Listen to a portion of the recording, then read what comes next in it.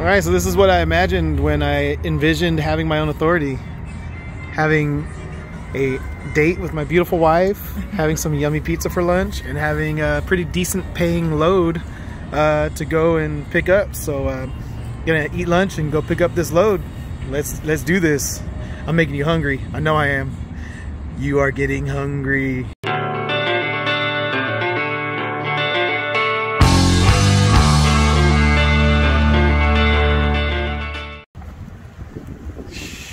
Right. We uh, got our paperwork. All we gotta do is go back, preloaded trailer, is go hook up to it. What do you guys say? You guys ready? You guys ready for this? You guys ready for this? Look at those bugs are still on there. I'm gonna go wash the truck right now. Right now. I just wanted to get over here and get this load before uh, before it got too late. Had a uh, had a little bit of an earlier pickup and it's a later uh, drop off so yeah. We're just gonna run it real quick get over there and uh, go park this trailer back in our spot before we go deliver it tonight. So let's get back there and do that. All right all right. All right my friends we got another load. You see what it says on the front of that trailer? You see what that says? It's gonna get loud. The engine's gonna get loud. Forgive me but I want you guys to see this. What does that say? That's right, we got ourselves a convoy. But uh, yeah, man. You say, uh, Nick, that last convoy load was kind of terrible for you, right? Why are you doing another one? Well, number one, they're really the only broker that has power only freight. So that works in their favor. Number two, this is actually a decent paying load. All right, and we'll get into that in a little bit. We'll uh, we'll talk about that a little bit later on. I gotta I gotta keep you know some sort of a some sort of a, a, a cliffhanger for you guys, a little hook for you guys. Got to keep you watching, keep you watching. You gotta wait to hear what that uh, what that uh, what that rate is on this load, man. It's a decent rate, so uh, I'll let you guys know, fill you guys in on the uh, the information on the load. Let me slide these tandems uh, forward so we can get out of here, and then uh, I'll probably just catch up with you guys tonight when we're on our way to uh, the first drop.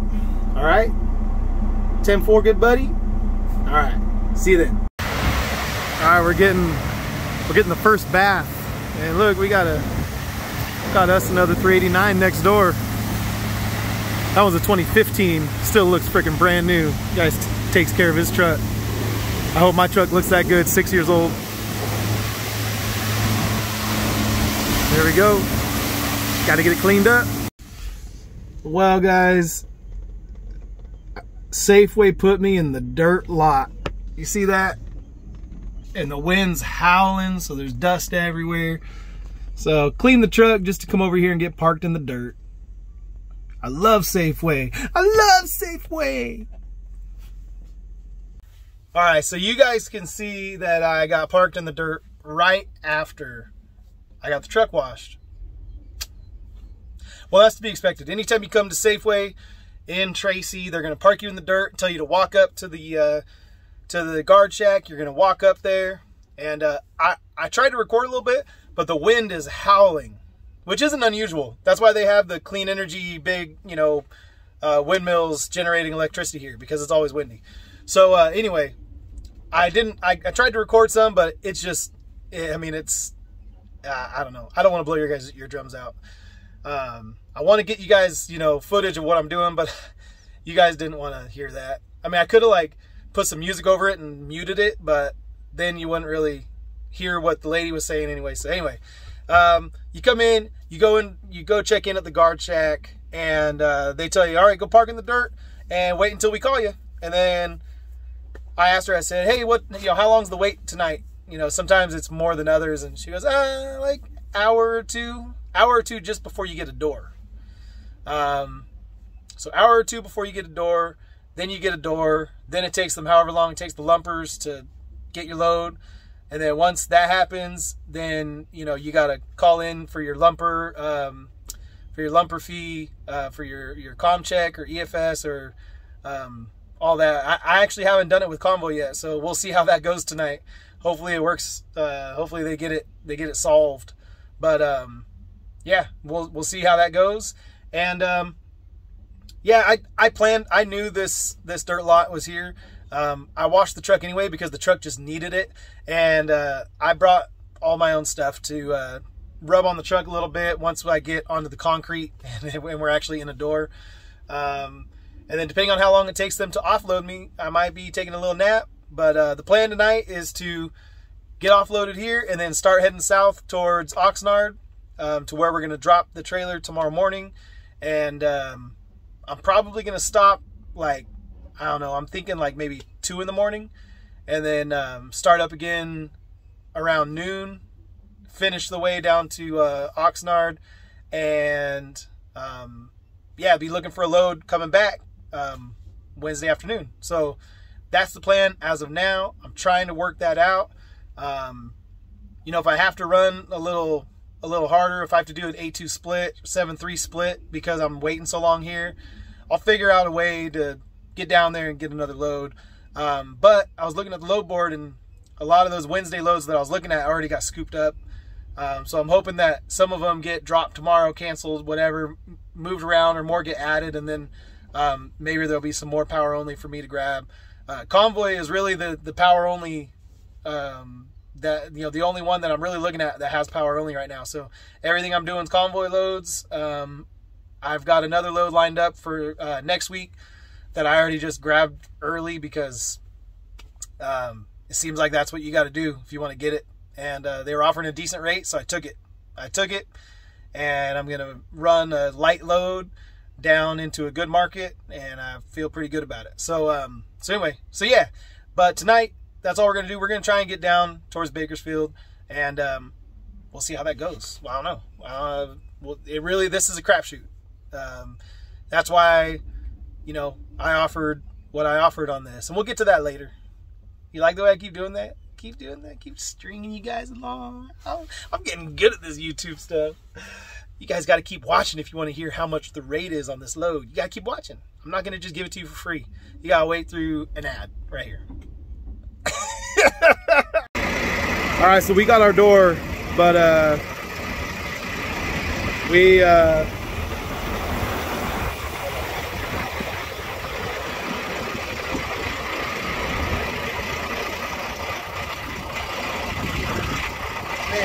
Of course, the wind kicks up. Okay, so we got our door, but as you can see by the green flashing light, uh, they have not yet locked us in. We don't have any lumpers unloading us, so uh, we've already been here for two and a half hours, and um, yeah, we'll see see how long it takes for us to get out of here tonight, but uh, we're not worried about it. Um, a lot of loads we're looking at are, are Wednesday night loads um, out of Oxnard, so uh, yeah, we got plenty of time, so not in a hurry. We're getting paid for this, right? Yeah. And we're getting paid extra now that we're over two hours. So, uh, and Convoy is real good about paying the detention. It's one of the reasons why I came back to Convoy is because, uh, man, they took care of me on that first load. They really did. So uh, anyway, let's see, uh, let's get out of this wind. All right, so that was pretty easy. Um, basically, they called me right now. They said, hey, uh, well, I felt the shaking, obviously, of the uh, forklift going in and out of the trailer. So I knew they were unloading me. Uh, then they called me from the lumper service and said, hey, it's going to be $44, which is the lowest lumper fee I've ever, like, heard of. I mean, I've, I've seen them like 250 350 like, way up there, uh, back, you know, five years ago when I was running around in a dry van. So I wasn't expecting $44. I was like, huh? But I think that it's, um, I think it's already pre-palletized because it was coming from a Safeway facility to this Safeway facility. So they're not like breaking down the pallets and, and doing all that stuff. So anyway, um, but it was super easy in the Convoy app. You just hit support up in the right-hand corner of your job, and then you select request um, lumper fee, and then it says, you know, um, uh, um, EFS check. Uh, where are you? Tracy, California. Um, the um, lumper company, and then how much they want. And then it gives you instant instant code, EFS code. says, okay, here's your code. And then you call the people back. Um, you say, hey, I've got the money code. And then you give it to them. The longest part was waiting on hold for about two minutes with them. Um, but yeah, so that's that. They got paid.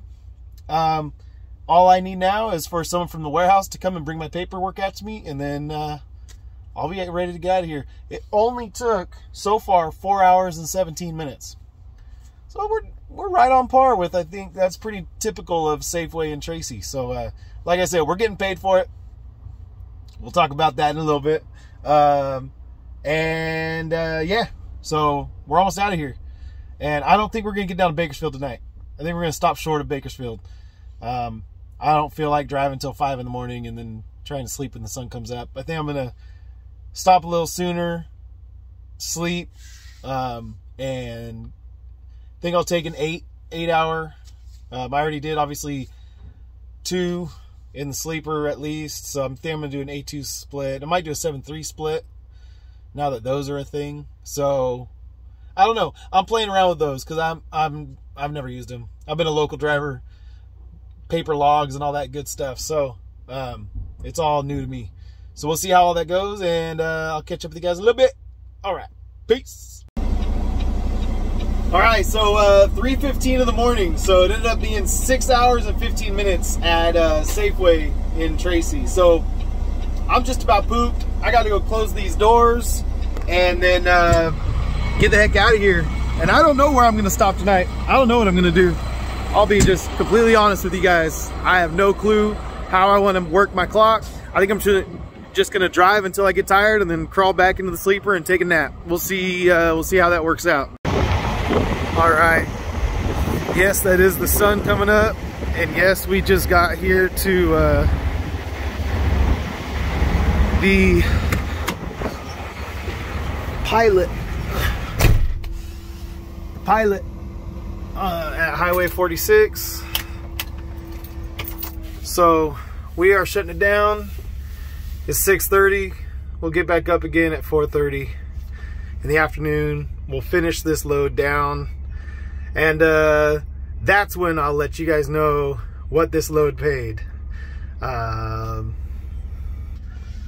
so we'll, uh, yeah, I'll fill you guys in on, on all that, what it paid, um, what the rate per mile is, since everyone wants to know what my rate per mile is. Everyone cares so much about my business. I guess I'm putting my business out there, so that's just the way it is, right? People are gonna share their opinion on it, so good for you. Uh, but I've been up all night. I've been up 23 hours, so it's time for me to get some rest. Thank you, Hours of Service Rules, for um, keeping me from getting sleep instead of forcing me to get sleep and, and putting me behind schedule. So somehow I'm both tired and behind schedule because uh, hours of service rules. Because uh, I would have stopped and slept, and it, would have been a lot different. I would have, I would have, uh, yeah. Anyway, really the problem is, is that I didn't want to sleep um, when I was sitting around for six hours at Tracy, at a Safeway in Tracy, because I would I knew I needed to sleep. I knew I needed to take time off. So um, why am I going to sleep on the clock and then not be able to sleep on my 10 off? And so anyway, I should have got a little nap in, but I was on the phone. I was talking to you guys. So all right, let's uh let's let's get some shut eye. I'm tired. And then um, when we start heading uh, down to Oxnard this afternoon, I'll let you guys know. Uh, you know, all the all the good stuff. Let you guys know what's going on. All right? All right? All right? All right. Good night.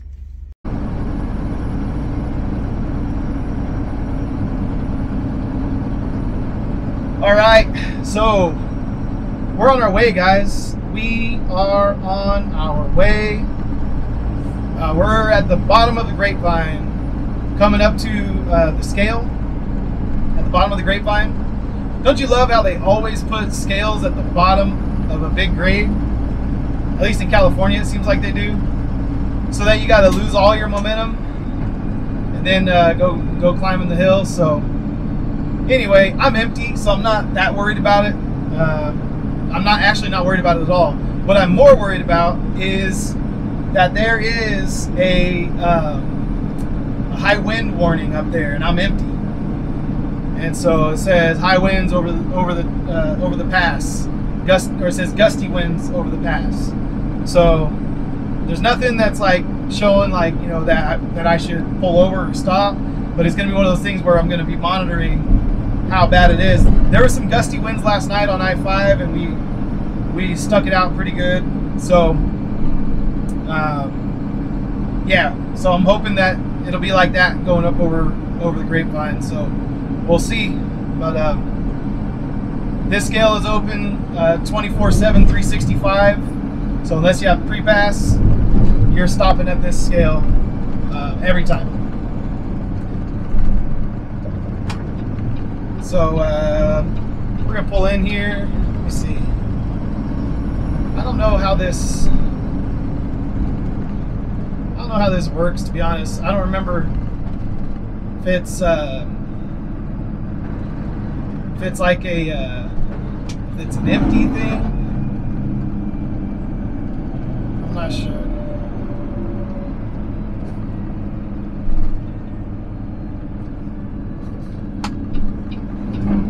Yeah empty trucks left lane all right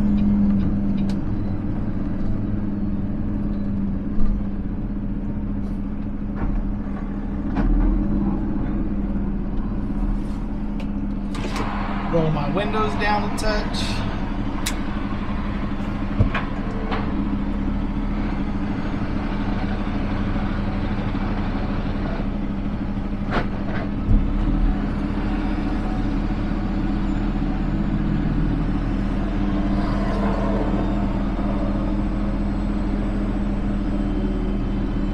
After we get through these scales, I'm going to talk about uh, the load run, finally finally you guys get to hear the, the juicy details of the load I'm on and what we're uh, what we're doing.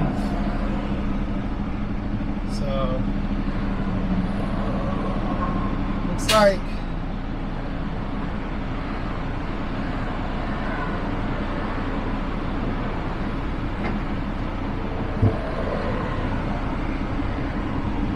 It's like I, I can either idle at four miles an hour or six miles an hour. So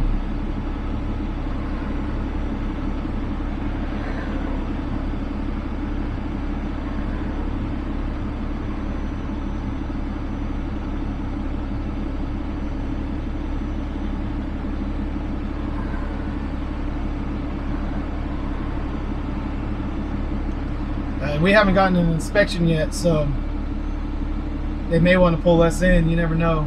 But today wouldn't be a bad day for it. We got time.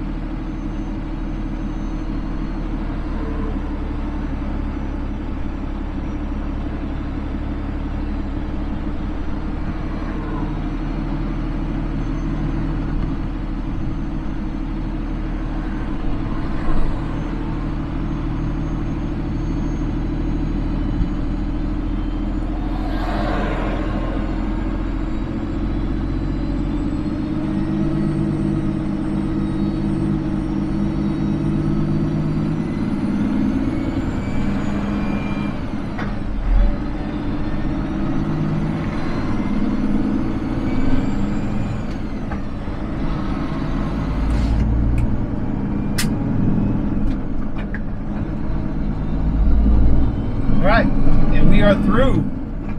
Just like that. All right, so this load, um, as we approach the grapevine, uh, Trucker John just did a video where he came came down. Well, I guess it's going north, so it's going up. But he came. This is the the long side. So when you're coming down this side, it's uh, it's a 35 mile an hour descent that he went down. So uh, yeah, you got to grab a load gear and truck it all the way down. So anyway, so he he did that, and uh, he actually mentioned me in that video. I was just watching watching you know my normal YouTube routine where I'm on my phone. I'm trying to answer some comments on my channel while I'm watching other people's stuff on the TV, and I'm just trying to kind of you know keep up with everybody. It's hard. Uh, I got a lot of a lot of people that I want to try to keep up with. A lot of people that uh, I like their channels and I want to watch them, and I get entertainment and information out of the, the, their channel. So I uh, so I definitely I, I was trying to get it. I, I was trying to do that, and I'm sitting there, and then he's like said something about Velox. I'm like, wait, what? to rewind a little bit. What did he say? Oh yeah, he said the Velox 18. Mr. Velox is uh because I was running running down to Bakersfield that day. That was the day of my first load. He was coming this way, so we were within proximity of each other.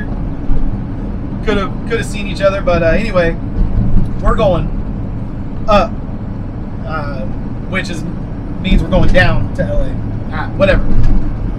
You guys get it. So, so this load, uh, I picked up 20 miles from the yard, from where I, um, from where I park, and uh, go ahead, Mister 389. Let's do this. Look at he's got some fresh grease on that fifth wheel. He's ready to rock and roll.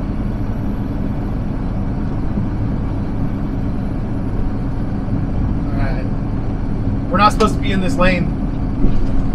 But I also don't want to go uh, the same speed as these other trucks that are trying to climb the hill. See this guy this guy's in the number three lane getting passed in the number four. Dingleberry.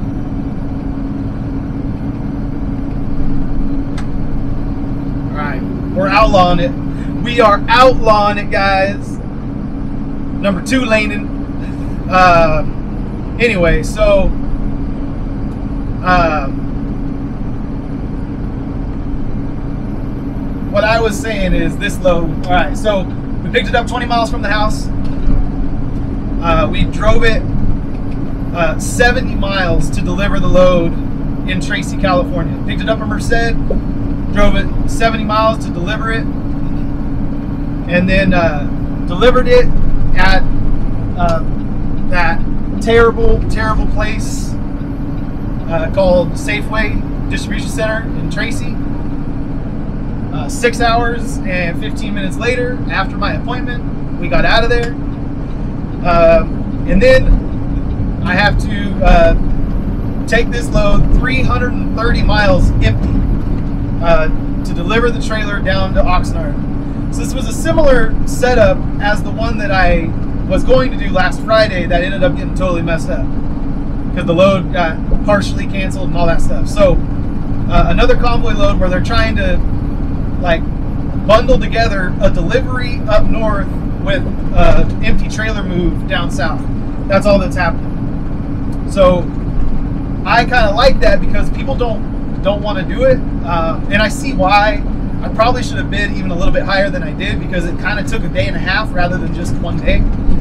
If Safeway would have been on the ball, I could have gotten all the way to Oxnard last night, dropped the trailer, uh, and been ready to get a load this morning from Southern California. But instead, uh, or not this morning, but this afternoon, uh, instead I had to stop in Lost Hills at Highway 46.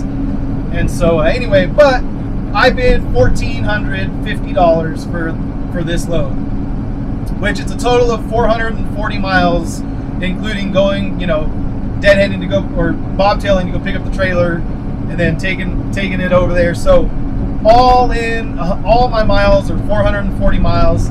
Um, and I bid 1450, which that's the bid that I was awarded. And then I I got uh, because Safeway in Tracy is such a terrible place, they gave me an extra $171 in detention. And so uh, with the $171 in detention plus the 1450, that comes out to $1,621. So $1,621 on 440 miles. If you don't have your calculator handy, that is $3.68 uh, $3.68 per mile. And that is all miles from the yard to delivering the trailer. Like, not it's not just loaded miles. It's not just all that bullcrap. How people try and try and get you by they try and try and trick you by saying that oh yeah this is four dollars a mile. It's like well yeah, but you had to deadhead 150 miles to get it. So add those miles and see what your mileage comes out to. But uh, anyway, nevertheless, uh, yeah. So this is a decent load still. Um, I missed out on some loads um, that I was trying to get for this evening and for tomorrow morning. Um, I got I got outbid, and uh, and uh, well, that's just that's the nature of being power only and trying to run uh, a lane that I'm pretty unfamiliar with, and I don't really know what's going on. And I'm trying to pre-schedule um, loads now, uh, which means that I'm, you know, I'm competing with a bunch of people, and uh, Convoy doesn't want to pay the money that I that I want to make. So I'm bidding like thousands of dollars over what these loads are getting bid at by other carriers, which is just mind blowing to me. Um, that other carriers would run 800 miles for $900. Like, and so I, part of me thinks that the Convoy app is just kind of lying to me.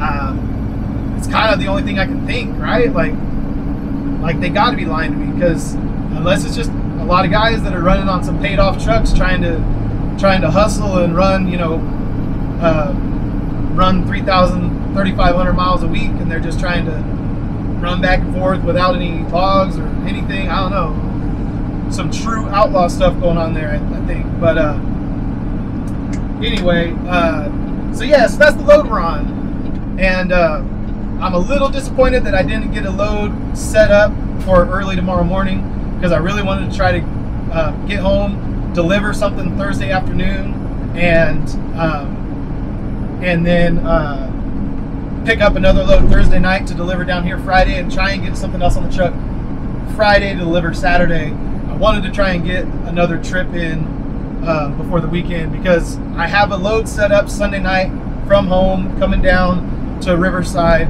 So I, I don't want to uh, I don't want to mess with that. So I'm not I don't want to end up down here on the weekend and not be able to get home or get back up north where my you know my next week's going to be starting on Sunday. So I pre uh, I pre um, uh, bid on that load and got myself set up, and I'm going to be looking. I already have a bid in for uh, a Monday afternoon load from down south to go back north. So I'm trying to set myself up on like a, a schedule ahead of time so that I'm not always scrambling and hoping that things just pop up on the load board. Uh, which is what I'm going to be doing tomorrow. Just be hoping that things pop up, you know, uh, hoping that things that that they get a little desperate and they want to pay me what it's worth to, to run it. Um, I bid on one that's actually coming from Northern California down here, um, and I just bid super high. Like, hey, if you want me to bobtail and go get it, I will. so I don't know. We'll see. We'll see. Uh, I mean, it's convoy. You can just throw bids on whatever you want. You can just bid it as high as you want. I mean, what's the worst that could happen? it just ignores you and tells you you lost the bid, all right, cool. Then I'm no different than you know anything. But if they're like, oh yeah, we'll give you thirty five hundred dollars to bobtail up, pick up the trailer, uh, deliver it down to Southern California, you know, it's like, all right, cool. Then I just I just got myself a uh, an extra trip, kind of, uh, and I got paid really well to do it. So I, I doubt they'll accept that bid, but you never know. You never know until you throw the bids out there and see what they say. So anyway, so that's the load we're on. Uh, let's keep going over the grapevine. Um, and uh, I'm not going to take you on the whole trip like Trucker John did. If you want to see this whole stretch of road, go check out Trucker John. Uh, he runs for Prime Inc. and he, uh, yeah, he did a whole, a whole shebang uh, up and over the grapevine. And uh, anyway, yeah, I'll catch up the guys down in the Nard. Uh, I used to live in Ventura, which is right next to Oxnard, and uh, and I yeah, I it's called the Nard. I don't know the Nard. My brother lives in Camarillo, which is right there, so I'm gonna try and see my brother tonight. So uh, yeah, I'll catch up with you guys when we're down there. Peace.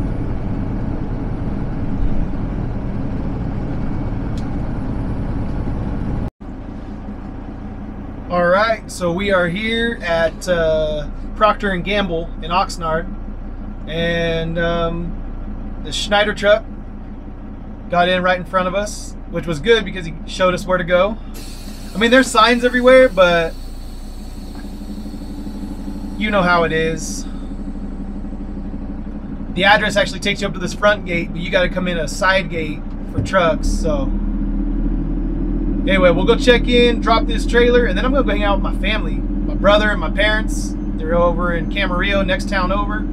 So uh, yeah, I'll uh, check in with you guys when I see them over there. All right. All right.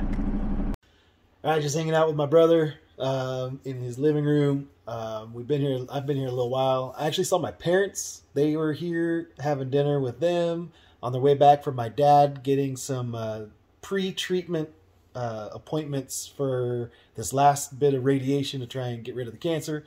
But uh, anyway, so I got to see them. Um, I beat my nephew at Madden, Silas. I'm now one and two against you, so I redeemed myself from getting slaughtered the last couple times. Um, and uh, yeah, and my my nephew Parker is learning to play the guitar, and my brother's learning how to play the banjo, and so they were messing around a little bit. So show you guys, uh, I'll let them play this video out.